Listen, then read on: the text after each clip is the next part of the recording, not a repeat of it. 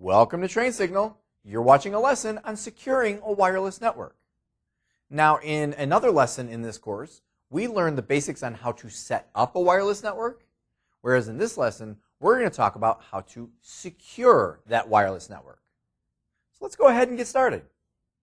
So when it comes to how to secure a wireless network, and I'm going to tell you just right out the gates that this really does nothing for securing your wireless network. I would really analogize this to this is like locking your car doors. Okay, in other words, someone wants to break into your car and they know anything at all about how to do so, they're going to do it.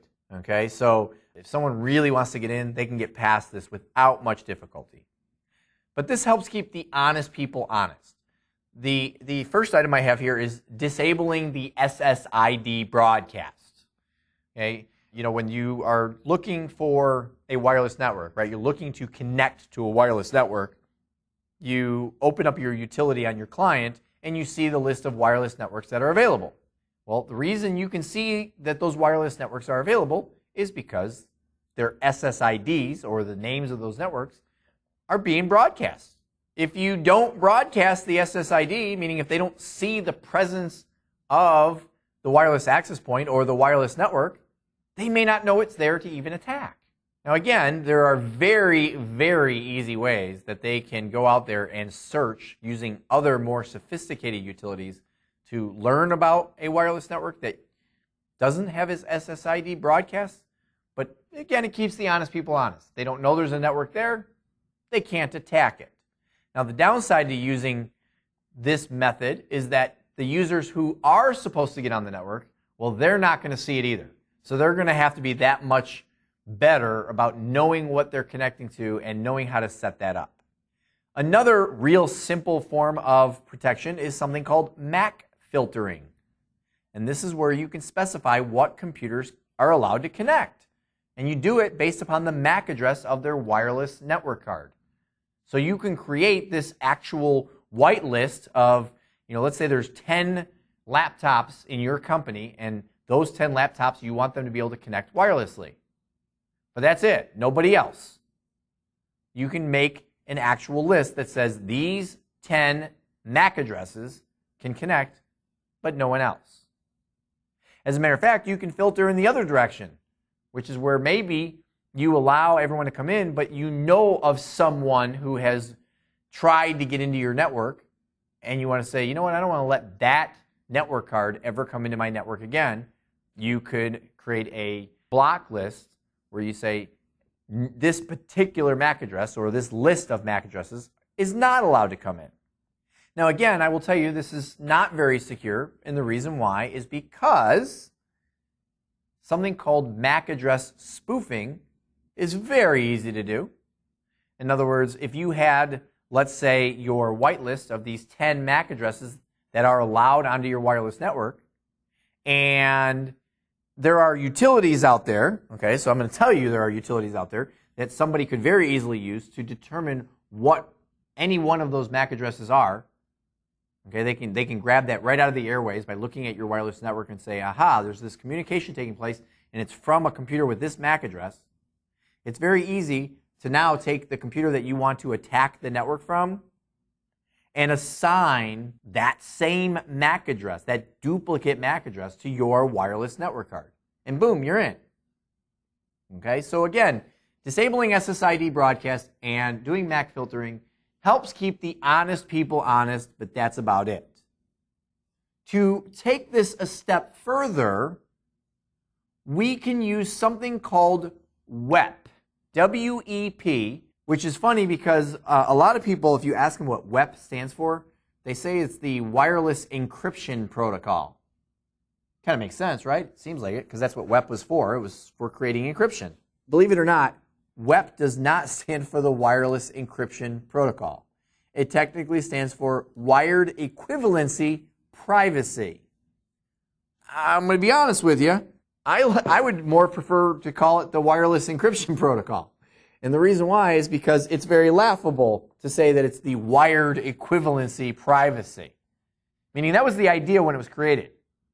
When it was first developed, the idea was to create a wireless network that was as private or as secure as a wired network. The problem is WEP was fairly quickly and fairly easily cracked. I mean, I can tell you that, and I, and I actually, I believe I do this in one of my wireless networking courses. I show you how you can go on the internet, download a free utility, which can fairly quickly and fairly easily just crack right through a WEP key. Okay, and this key is what's used to encrypt the data. Okay, so please understand that WEP was only used in the early stages of wireless networking, and if anybody's still using it today, they're not really secure.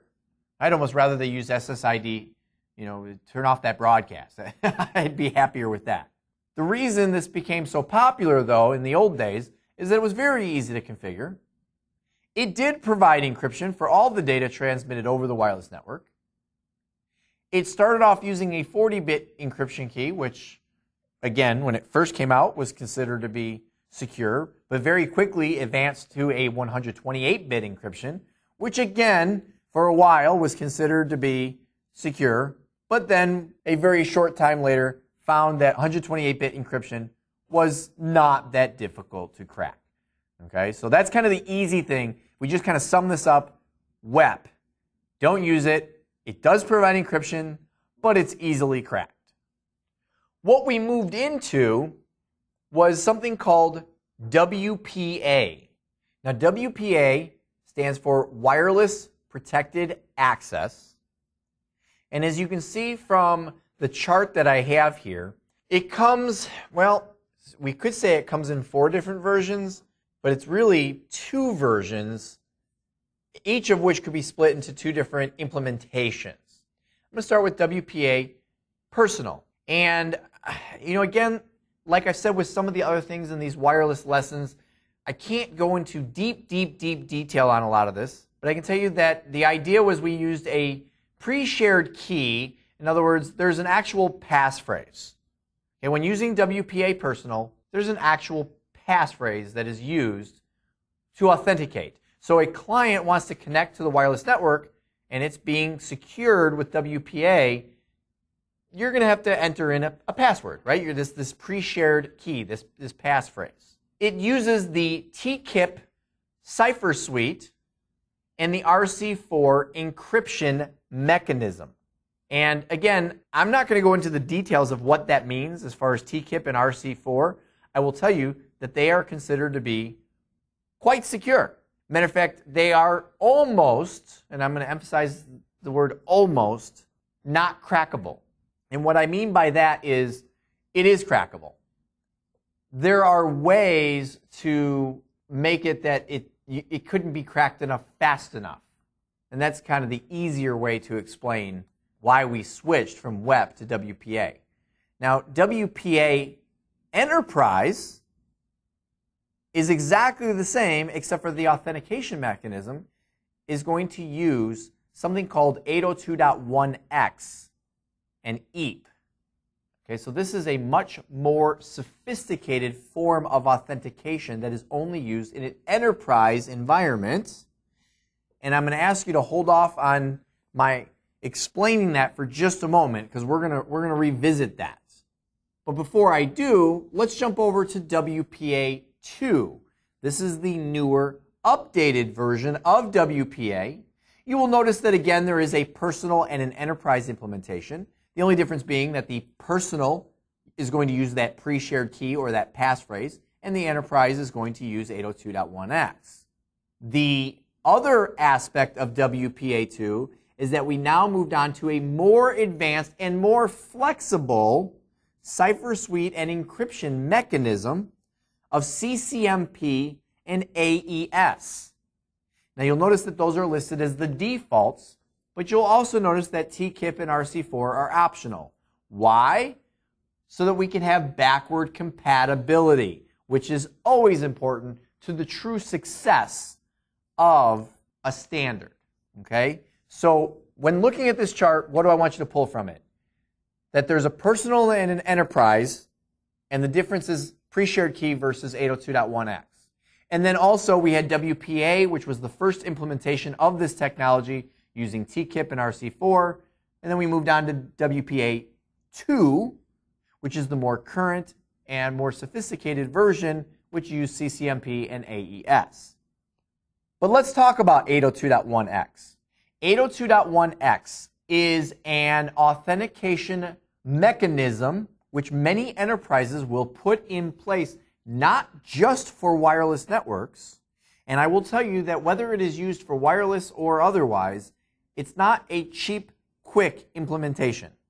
802.1x requires the use of certificates and radius. Now, in case either of these terms are new to you, I will tell you that certificates are used to provide a higher level of authentication of the user and or computer attempting to connect. Certificates are a way of establishing identification cards, so to speak, for all of your users and computers. And those cards must be issued by a certificate server or a certification authority, as it's called. And I, am not going to go into a whole certification lesson with you here, but I can tell you that there is a whole level of sophistication to using certificates. But along with that sophistication also comes a higher form of authentication and a more secure form of authentication and a more reliable form of authentication.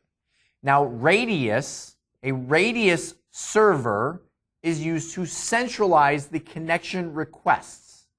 Okay, now Radius goes beyond just a centralized server for connection requests. It centralizes rules surrounding connection requests and also includes an accounting, or some people like to refer to it as an auditing mechanism to it. Okay, as far as keeping track of who's connected, when they connected, and for how long they connected. So, again, just to kind of wrap this up, I could do an entire lesson on how to set up an enterprise level 802.1x. What you need to know here is the basics of what it's all about, and it's an enterprise level form of authentication using certificates and radius. And so that brings us to the end of this lesson, where now, hopefully, when you have people in your company who are asking, if wireless is going to be secure enough to use, you should be able to feel comfortable that you can say yes. You know how to lock it down so that it will be secure enough to feel safe with the data that's being transmitted. Well, that's it. I'll see you in the next lesson.